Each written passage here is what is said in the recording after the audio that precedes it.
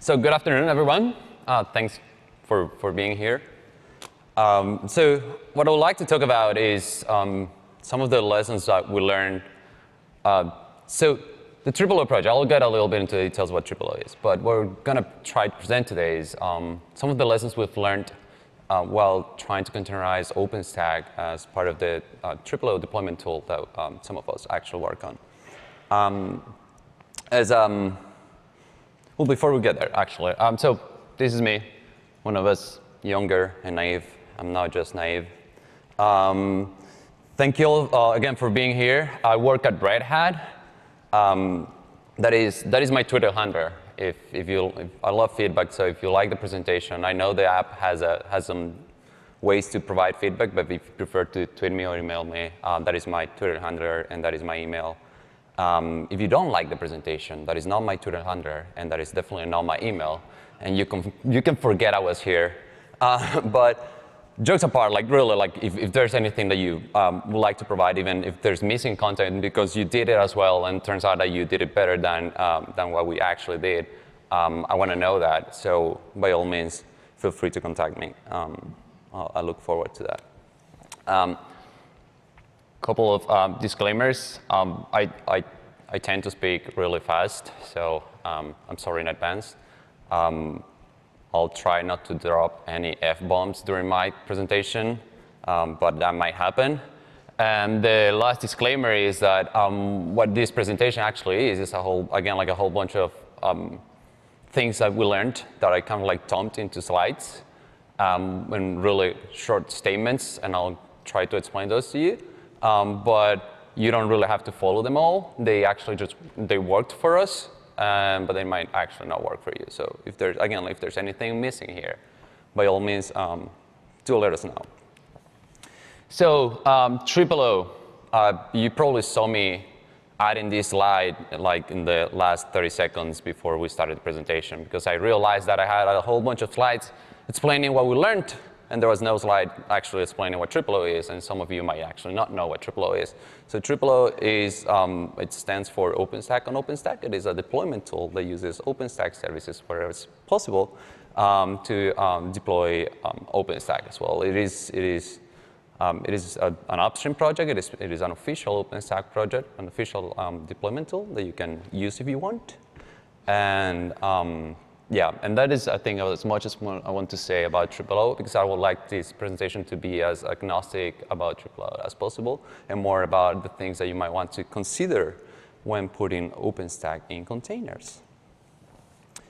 Um, so first and foremost, the why. Um, I'll, I'll go through like three or four motivations or things that actually motivate us to, um, to, to start doing this job here, this work here. So deploying OpenStack, first and foremost, I believe, deploying OpenStack is relatively easy, really. Um, and the real hard work comes on day two operations when you have to keep OpenStack running. Um, so, you know, whenever you have to upgrade OpenStack, whenever you have to um, do some changes or just have your users actually using OpenStack, and so you, you got to maintain the life cycle of OpenStack. That is, that is the hard part. So this is one of the things that uh, we kind of like kept in mind when um, kind of like diving into this topic and, and, figuring out whether this was something that we really wanted to do or not. Uh, so one thing we, uh, we would like to achieve by doing this is service isolation. So being able to have services, OpenStack services, or like any other service that OpenStack depends on, as isolated as possible from the rest of the clusters so that we can have um, more, I guess, granular control um, on, on the services and the way that we deploy those and the way that we run those. Um, so service isolation and, and the dependencies isolation. So each one of these services that, uh, that we install, either OpenStack services or other third-party services, they come with a set of dependencies that they have that we also wanted to isolate so that whenever there's an upgrading process, uh, we won't be updating dependencies that other services um, you know, might still uh, be depending on and probably breaking our environment. So these are all things that you might have heard already many times when it comes to pitching containers, but uh, again, like this is actually uh, stuff that we would like to achieve in our deployment and that we believe it is beneficial for, for OpenStack deployments. Ease of upgrades. Uh, again, many things we've heard before about um, uh, and all the, the, when, when people pitch containers, but um, it does it, it does make our, the upgrades somewhat easier. Not, not, it does not solve all the upgrades problem. There are many upgrades problem in, in that you need to face or that you will face whenever you try to upgrade OpenStack. But it solves some of the problems when it comes to getting the whole package, getting the isolated service, and actually uh, running it and moving from, from one of the processes to another. Um, and if you do it in like a more distributed fashion, it doesn't like I'm not, I've, I've not talked about um, whether you're using Docker or some COE um, or what um, you know container runtime you're you're depending on, but uh, depending on what container runtime you're using or whether you use their COE or not, it might also make you know um, your, your upgrades are more dynamic and, and easy to, to scale by using the uh, orchestration capabilities of that COE. And it provides also some deployment flexibility. So if, you're, if you use the COE in this case, more specifically like Kubernetes, for instance, then you have, you wouldn't be tying, so what, what we do right now, we have like very specific nodes that are used for, uh, for very specific services, and those are pretty tight, right? So if you use uh, COE or like Kubernetes, that you have some extra flexibility because you can let the, the you can let um, Kubernetes orchestrate these services for you based on the way you label and the way you um, you create your cluster. And like, you know, like what I, I understand, like what, some of the things that I'm saying here might be like oversimplifying the whole progress, the, the, the whole process. Um, but just bear in mind that the, the high level feature that we actually want to gain from, from, uh, from doing this. And and the ease of scalability. And again, like once you have, if, if, if, we, if you run this on a on Kubernetes or you run uh, OpenStack on some other um, container runtime and you have the tools for, for um, scaling uh, your nodes, it'll make easier to, it'll be easier for you to just tell the COE to go ahead and, and scale your services and add more containers to your entire infrastructure. And Again, like it is not as simple to scale Nova Compute, and we know that. But for the rest of the API services and some of the controller services, um, it does make it simpler to actually add more nodes to your, to your cluster. So these are our probably main reasons. Um, hopefully, I'm not forgetting um, any any obvious reason, but this is probably the main reason that why we we, we started like diving more into this. Uh, besides all the um, feedback from users and people that are actually interested in, in, in running OpenStack on containers because they believe it is um, it runs better based on their own experiments and, and, and deployments. So um, once you've answered whether you know why you want to do the whole thing and why you want to go down this road, um, the other things that we need to answer, and this is a question that we, uh, we kind of like faced ourselves, is, is what exactly we want to containerize. Um, so OpenStack is not OpenStack is not just like a set of APIs. There's a whole bunch of other pieces that come into play whenever uh, you deploy an OpenStack cluster. And there's all the OpenStack services. There's all the, the libraries and dependencies that OpenStack services depend on. There's all the third-party services that OpenStack uh, depends on, like databases, uh, message queues, etc. Um, and uh, like even libvirt or like an Open vSwitch, like all these things and tools and um, third-party um, software that OpenStack actually depends on to, to, to work properly. So um, three probably obvious uh, ways to answer this is you can um, you can containerize some OpenStack services and uh, like live outside all the third-party services and some services of OpenStack you don't want to containerize. So you might want to containerize only the API nodes, like API services, like Nova API or Glance API, Cinder API, etc.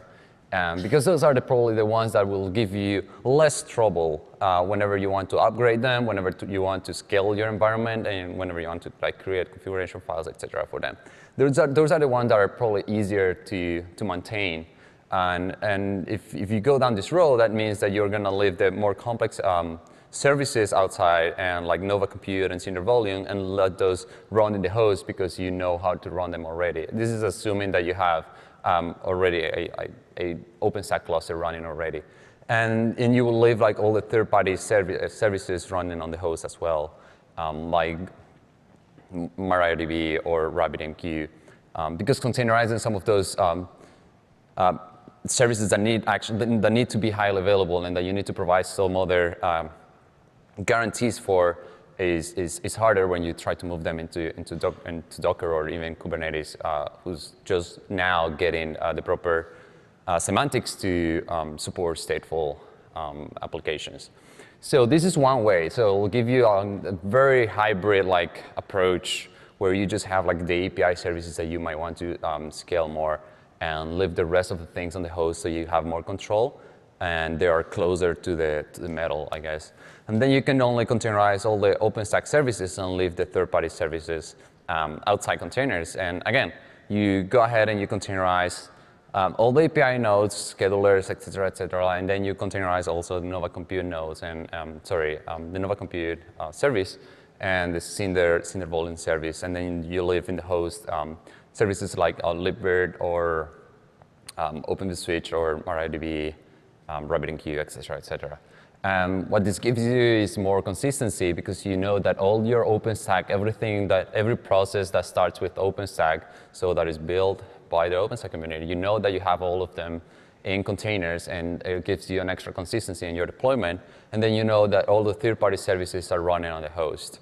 And this is not possible with every third-party service side. This assumes that if you're doing this, this assumes that you can talk to these, these uh, third-party services using the network because you cannot, um, if you're containerized, and unless you're running stuff in Docker, uh, but again, like trying to keep this as as technology agnostic as possible. But unless you're running things in Docker that you're, you don't really uh, want to um, access the host directly from, from the runtime, from the container. So, um, and, and the, third, the third option is containerizing everything. You just put OpenStack and all the third-party services in containers.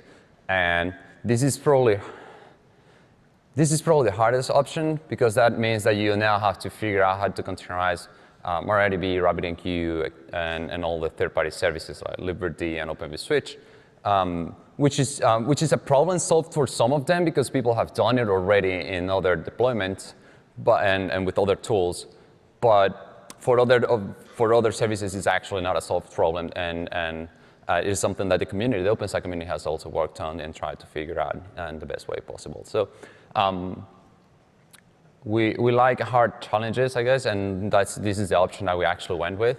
And, and I guess one of the motivations behind this is, is mostly like consistency. Like we, we want to eventually be able to have a fully containerized OpenStack deployment, including, including third-party services, and so that we have like a very consistent, um, again, deployment that we can, um, that, that we can ship. And, you know, like eventually all this can also like even run on a whatever, like an atomic host or something like that, that it only has and only supports containers.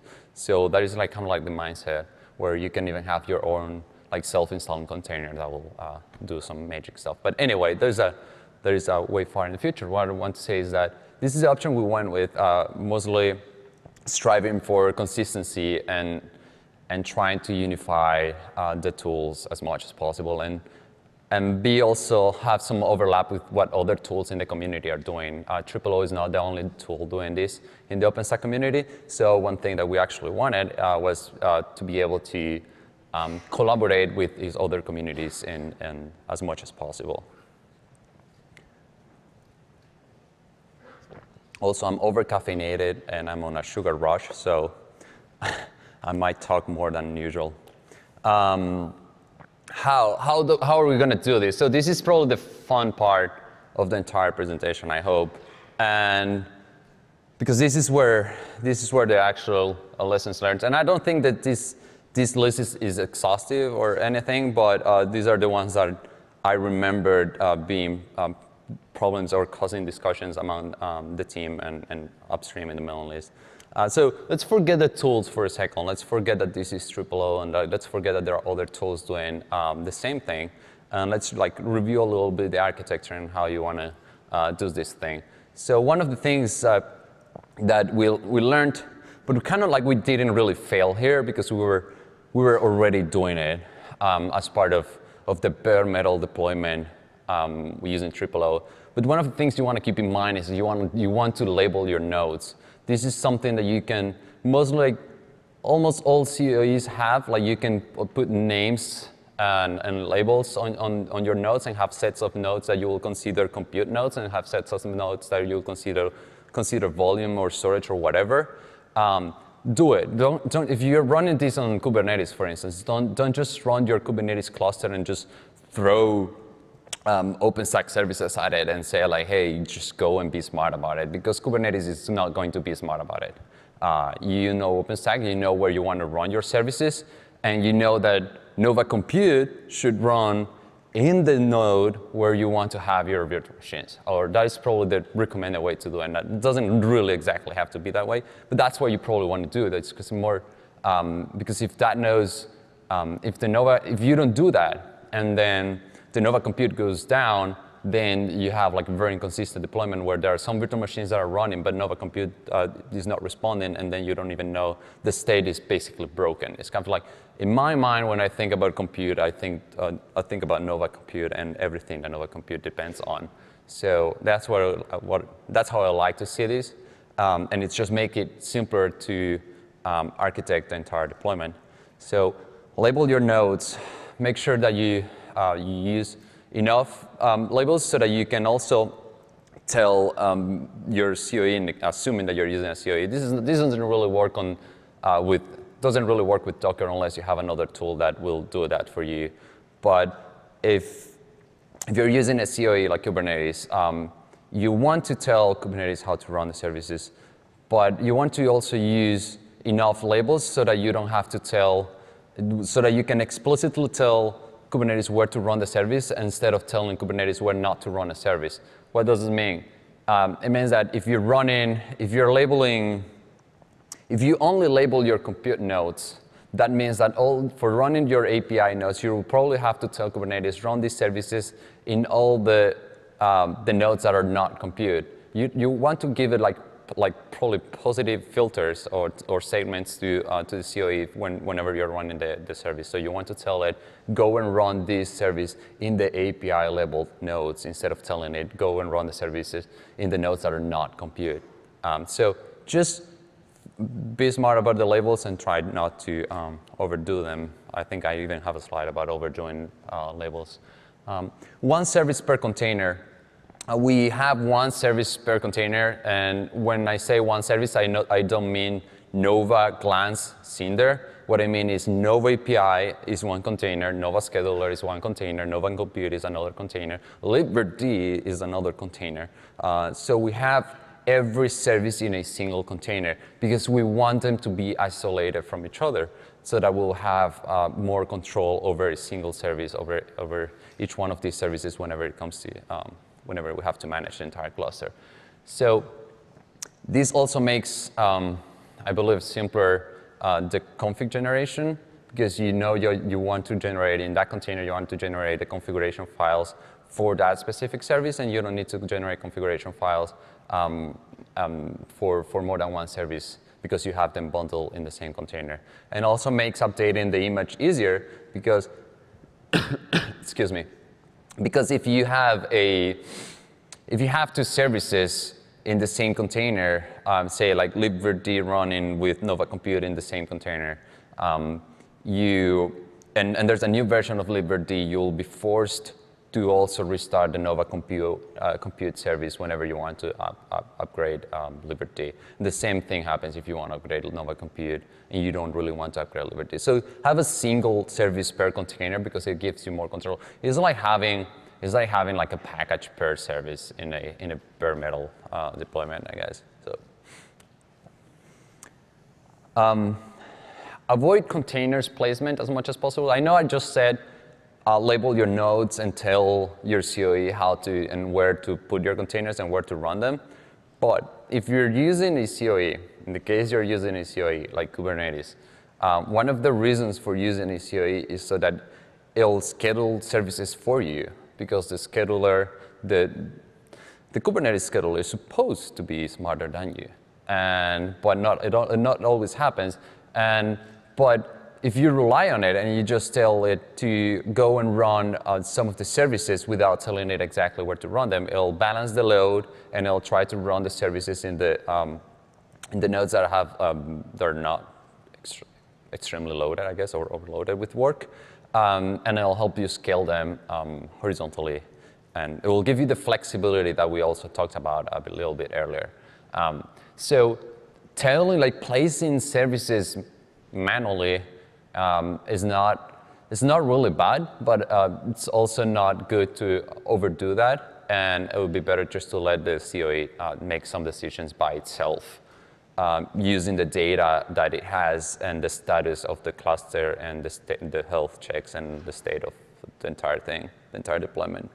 So try not to be extra, like, mm, you know, try to try not to be smarter than the COE, I guess, in some of these um, operations.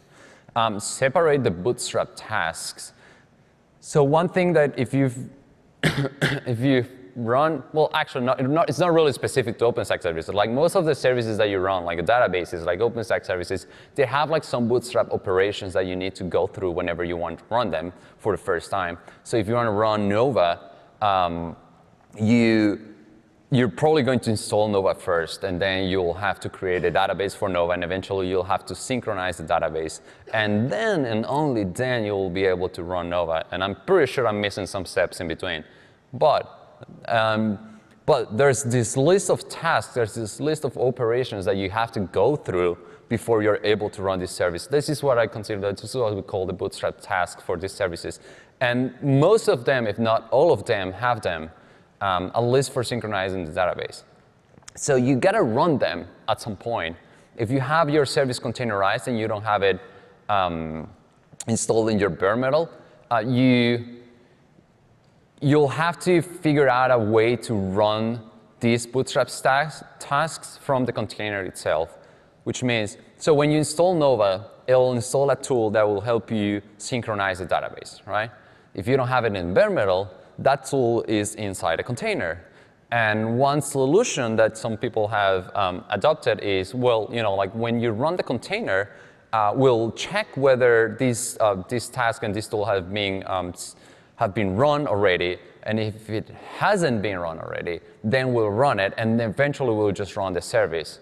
Um, and it'll do that in a single operation. You don't want that. You don't want that because it is not, it'll be really extremely hard to uh, guarantee the consistency of your cluster if you do that. And because sometimes there might be race conditions if you run the containers at the same time. They might try to synchronize the database at the same time. So you want to have control over these bootstrap operations. You want to run them in very specific times. You want, they are bootstrap operations, right? You want to run them once when you install the service and probably once when you're doing upgrades. Other than that, you just want to run the freaking service.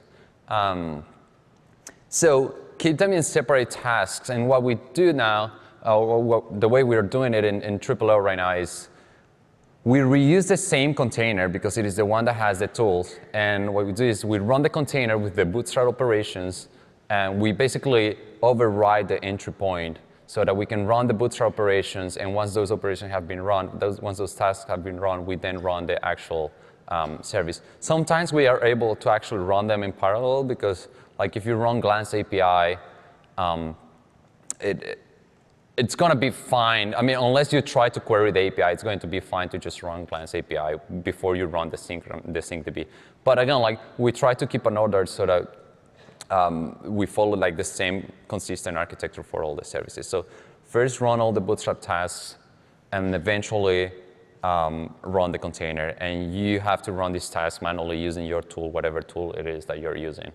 Uh, don't, don't put everything in the, same, in the same entry point for the container because um, that's not going to end well. Structure your images. We're so for, for this thing, we're actually using Kolla images. And um, the Kolla images have a, have a, they have like a great structure. Um, when I say structure, I actually mean layers. Um, you, can you can have different layers in your, in your container images. And this is something you really want. Because so you, can install common packages in the, in the in the base layers of your images and eventually just install the service-specific packages at the very top of the, um, the topmost layer of your image. You want to do this so that you avoid um, recreating all the images every time. So the problem with this structure, though, is that if you need to upgrade, I don't know, one of the base packages uh, that are in the first or the second layer, you'll end up having to update all your images. And right now, I don't remember the number exactly, but I think we're over 120 images for, uh, for OpenStack, uh, for base OpenStack deployment. So there's like a, like a zillion of images, really. Like if, you try to, if you run Kolla build, it'll take two to probably three hours to actually build them all from scratch. So if you update one of the packages at the base layer, you'll end up having to run all the builds for all the images, and that's going to take some time. Um, but you do want to have some, some, some structure in your images so that you can control what, what goes into each layer, and, and you know what you're going to uh, deploy at a very specific time, and then you can have different versions. And it's very, it's very interesting how the layers work for, for, for the container images. Um, you don't want to abuse mounts, um, which we're actually kind of doing. So you can, it's, it is, it is very easy once, once you have the containers and you, you run them and you need to solve some of the problems like, like, acts, like if you're running, if you are migrating from a bare metal deployment into a containerized deployment and you already have your database running on bare metal, and then you want to run the container with MariaDB, um, there's a question of how do I migrate the data from, uh, from the bare metal node into whatever storage container that I want to use for my containerized MariaDB. That is a, that is a question that uh, needs to be answered. And one easy solution is just mount varlib MySQL into the new container and let it access it, right? So it's very easy. It is probably dirty, but it works. And since it is easy to do that when you're using Docker at least, um, it might be easy to also do the same thing for many other things that you will, you will need access for uh, from, the, uh, from the container. Um, and one of the things that happened to us is that we ended up adding more and more and more mounts and bind mounts into the container. And now we have, I believe, like we have many of them for different reasons, which like details that I really don't want, like, don't, don't want to get into right now.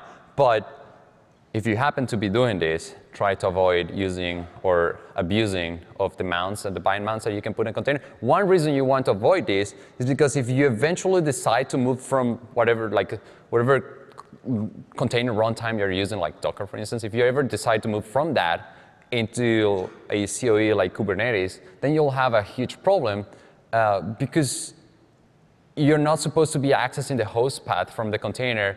And if you do that, and, and, Kubernetes decides to just schedule your container somewhere else, your MariaDB container, into a node that doesn't have the data, then you'll try to access varlib MySQL in a container that doesn't have your data. So there is a huge problem that is not going to be um, solved by just accessing the data from the host. So if you're not planning to ever move into a um, dynamic scheduling um, but, um, um, service like Kubernetes, um, then I think you'll, you'll be fine. But again, like try not to abuse them. Because eventually, unless your, your deployment tool is extremely smart, eventually you'll want to, to move to something else and, and let the COE uh, make some decisions for you and have that flexibility, again, that we talked about um, a little bit earlier. Um, you want to set the host name in the container. Uh, this, is, this was not extremely obvious to us, I think, or we just, it just slipped our minds when, when we were um, doing the first implementation. And we run into issues when we're, we're, we're using Puppet to to do some stuff in, in O. And I don't remember exactly whether it was a Puppet issue or whether it was some, some other issue, but it happened to us that we were not really setting the host name. And when we were running, when we ran the, uh, the synchronization tasks, and we tried to access the database to actually when we tried to access the database to create the database for each service, and this was done by Puppet, now I remember. Um, and um, we, well, the connection was failing because it was trying to use the host name, which was not set in the container. So remember to set the host names. If you need, and you can use the DNS, it's even better. Uh, but if, you, if you're not using a DNS and you just want to rely on your host names, it's perfectly fine. Just remember to set them. It is important for your networking and your container life. Um, generate config files uh, from the container. So I guess this is the only slide that I have that is very specific to uh, to TripleO and the way we do things. But I think it is valuable to also mention what you know the solution we we adopted here. And so one of the problems when uh, using when you know working on deployment tools is actually generating the config files that will then be used by the services to to run properly. And we're using, like I said, we're using Puppet for that in, in O. And uh, the first solution that we adopted, for, so one of the things that, so Puppet needs the, the software to be installed uh, installed in the container or in the host to actually be able to generate the config file. So one of the problems we had is that if you try to generate the config files for a service that is not installed, then it's not going to be able to do it. One solution we adopted at the very beginning was we'll have this, this single container that we call agent where we're going to install all the OpenStack services and we'll keep all the config files in there so that whenever we run Puppet in that container, it'll be able to generate the config file, and then we'll copy those config files into the right containers. It is kind of like confusing, but there was this like this master, well, actually agent uh, container that had all the config files. It, it really, like it worked well for, for a single service. then it, it just like didn't scale very well. One of the reasons is that if you ever need to upgrade your container um, or, or your OpenStack cluster, and you, you want to update, like, I don't know, like the Nova API service, you will also have to update your agent container because you need to update the config files in the agent container and regenerate the config files and then copy those into the, uh, the new Nova uh, container that you're running. So what we did is, uh, this was actually Dan's idea, uh, what we did is we, we ditched that agent container and we are just, we install Puppet in every container as the, in, in, at the very base um, layer of, of the container image. We install Puppet there, and what we do is like whenever we need to generate a config file, we just use, we, we use the same container image that we use to run the services, but we just call Puppet inside the container. It generates a config file for that service, for that specific version, and it does it once. And then we just reuse that config file in that same container. So it solves a lot of the problems that uh, we had with the whole, and again, like we, we want to simplify upgrades, and using the agent container was actually just going to make it more complex, um, which is something I really didn't want to do. So this worked very well for us. I'm pretty sure if you're using different technologies, you're not gonna need a solution like this, but if you ever run into a similar problem, this is something that uh, you could actually do, and it works pretty well.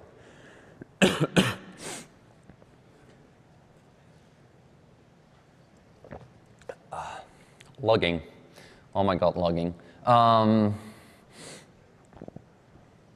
when we when we started running the containers, actually, it was um, we we started like we got to the point where we were running all the containers and we said okay containers are running now let's see if the services are actually running and the services are actually responding as they should be responding and very few of them were. And then the problem is you know how do we figure out what's going on in the container what what we uh, you know fucked up i guess. And we what one of the things we we found out is that when you got into the container is we, we, didn't we actually didn't have good logging um, because the config files that we were generating were, uh, were based on our old bare metal uh, deployment, which means that they were all configured to log into var log. And when you run a service in container, like the standard way of doing it, the recommended way of doing things is that you will have your process logging into standard output, and then you can just access that log uh, using the Docker tools and stuff like that. Um, which was not the case for our services because they were configured to just log into varlog, and which meant that we had to uh, get into the container every time, go and read the log files whenever, if they were there, because sometimes they weren't even there because you know the, the user that was running the service inside the container actually didn't have permissions to create a file, so it was like it was a mess. Um, so I guess what I want to say is that there are different, there's not a standard way or a consistent way to do um, in an OpenStack deployment, not that I'm aware of. I mean, most of the services just log to varlog. Most of the deployments that I know of, they just log to varlog. There are other deployments that use login services like FluentD, um, or an entire Elk stack uh, to store the logs, which is, which is per perfectly fine. And when you're moving things to containers, you, I, I, this is not what we're doing, but I truly believe you want to, uh, you want to have like a hybrid kind of like solution. You want to log into standard output and also log into a file so that you won't um, change entirely the way that your deployment works right now. And this is one of the other cases where we we abused of the mounts because we basically got them, we basically mounted varlog inside a container so that we would, you know, still log into varlog inside a host and we would be able to reuse all the tools that we had already to analyze um, the, the, the OpenStack deployment. I'm not saying this is going to stay like that, but this is another solution that you have. Recommended way is if you can log into standard output and also have your log files, that is probably the best way to do it. You can have like a um, data container where all your log files go and also have um, the services log into standard output. And this is great because then you can have other tools, like I mentioned before, like Fluentd, going through the containers and collecting all the logs for you and having them centralized in a single place if you really want. Or you can have like eventually like even have like the same OpenStack service login straight to uh, to Fluentd. And I think there's a plugin that you can put in the container runtime that uh, will just do it automatically for you. And that is a bit of a digress. But anyway, yeah, just bear in mind that login to standard output is great, but I would also um, keep logging to files because there are many tools that just parse files and, and analyze them in a proper way, uh, which is at least the tools that we were using. And I guess one of the biggest questions is um, whether to COE or not to COE. Um, so COE stands for con um, Containers Orchest Orchestration Engine, um, aka Kubernetes and services alike. Um, so you would you have your container, you uh, you tell this tool, this COE, to please run that container, and it'll um, dynamically schedule the container for you. So one of the big questions is whether to go into some tool like this or just going to a simple um, container runtime like Docker or, or Rocket. And this really depends on your taste on really what you want to do. Uh, just bear in mind if you, if you decide to use a container runtime and not depend on any COE, you'll lose some of the flexibility that we talked about before, uh, unless your deployment tool is smart enough to provide that flexibility uh, to you. Um, so you're not, you cannot tell, unless you're using Docker Swarm, but you cannot, you can't tell Docker to just please go and dynamically schedule a container for you. You can tell a Docker daemon to run the container for you in that specific node, but you cannot give a Docker daemon a set of class, a set of nodes and tell it to just please run the container in some of these nodes, and you decide what the best way to run it is, uh, which is something you can use, you can do with Kubernetes or Docker Swarm or um, some other COEs. So our decision was we want to eventually run everything on a COE, um, Kubernetes, but before we get there, we're, we're just gonna start with Docker and start migrating bare metal deployments into, into container runtimes. And eventually, when, once we've figured out some of the basic um, difficulties and challenges that there are with running OpenStack on containers, then we're gonna start uh, the migration into um, specific uh, COEs. Um, things that we still haven't figured out quite yet. Um, I think there's just one actually. Um, this is the only one that, I, that came to mind is choosing the right storage driver. Uh, like I said, like the first phase we're using, uh, we're mostly using Docker. One thing that we have not figured out yet is what what's the best storage driver for this. Like there are good documentations. We kind of know what storage driver is. So you can have different storage drivers for uh, Docker. And the device mapper is the default one which basically writes uh, things into a loop device, which is extremely slow and is not good for, for production. But you have other options there, like um, there's one that runs on Btrfs, and there's another one that uses overlay to. There, there are different drivers with uh, different performances and different uh, recommendations for different environments, like production, development, testing, etc. There are some that are faster but less reliable. There are some others that are more reliable but a little bit uh, slower. So which one is the best one? Uh, probably overlay2 is the answer there, but there's, uh, we, I, don't, I don't believe we've done enough um, tests on, on this, on, on the CI environments upstream to actually have proper numbers to, to back this, uh, this statement. And with that, I, that's it. Um, these are all the things that I believe um, were relevant to mention here and, and that I think are great and we learned um, in the last, what, six months, seven months? I don't know. Um, not, not really long, but yeah. So, do you have any questions? There's one. I have a question. Could you uh, kind of summarize the current state in terms of what's working, what's not working, what's targeted for which release? So, um, I believe, so the OpenStack deployment, the overcloud deployment is actually, so we're able to deploy the under cloud on containers. The overcloud deployment is actually working. Uh, the CI is broken right now, I think. Um, as of last week, it broke. But we've, we've been able to run over containerized over clouds already. The target is to release all that uh, during, um, what, what release are we in? Pike? Yeah, in Pike. And uh, we want to release all that um, uh, by the end of this uh, development cycle. And the key thing is migrating all the bare metal uh, deployments into a containerized one so that we don't have to support two. And of course, not break existing deployments or, or backwards compatibility, which is a um, key thing that we want to preserve in TripleO. Liz. Right. I think there's another question. Yeah. Are you going to use uh, the COE to replace high availability services like Pacemaker? Uh, it's a very good question. Um, and I forgot to mention Pacemaker, actually. So I think for now, for Pike at least, we're, we're the, the aim is to um, actually containerize Pacemaker or use Pacemaker remote for controlling um, some of the HA-dependent uh, services like MariaDB, RabbitMQ, etc.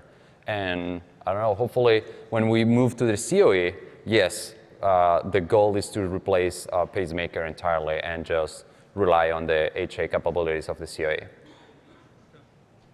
I had uh, one more question about Sure. the, uh, are you using load balancing on services like RabbitMQ when you containerize them? Um, yeah, right. So we're keeping the same architecture for, for, the, for the Pike release, at least. We're keeping the same architecture as we have for, for bare metal. So yes is the answer. And whenever we move to the COE, then again, we'll rely on, on whatever is available in the COE itself, like Kubernetes. You're very welcome. There's one more question. Um, are you working with uh, the Atomic project yet? I saw in the slides there for a second for kind of the containerized operating system. Yeah, I mean, like eventually, when, whenever we manage to containerize everything, uh, you would be able to run OpenStack on Atomic, uh, in theory. I think we've done it actually. Well, it, it won't work anymore because now we're depending on some stuff that runs on the on the host. But eventually, yes, you'll be able to that. You should be able to do that. Yeah. Not for Pike though. Just want to clarify that.